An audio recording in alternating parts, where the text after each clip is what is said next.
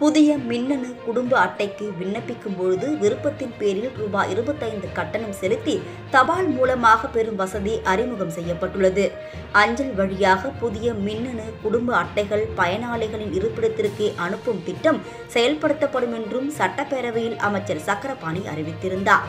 இந்நிலையில் இத்திட்டத்திற்கான கட்டணம் மற்றும் வழிமுறைகள் குறித்து கூட்டுறவு உணவு மற்றும் நுகர்வோர் பாதுகாப்புத்துறை அரசாணை வெளியிட்டுள்ளது.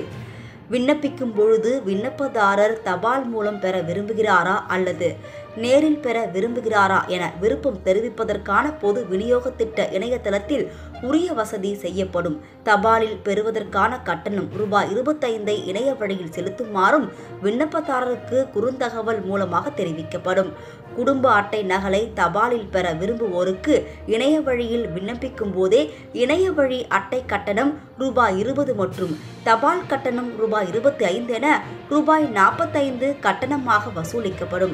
தபால் மூலமாக புதிய குடும்ப அட்டை நகல் அட்டை பெற விரும்பாதவர்களுக்கு தற்பொழுதைய நடைமுறைப்படி குடும்ப அட்டை தொடர்ந்து வழங்கப்படும் என தெரிவிக்கப்பட்டுள்ளது.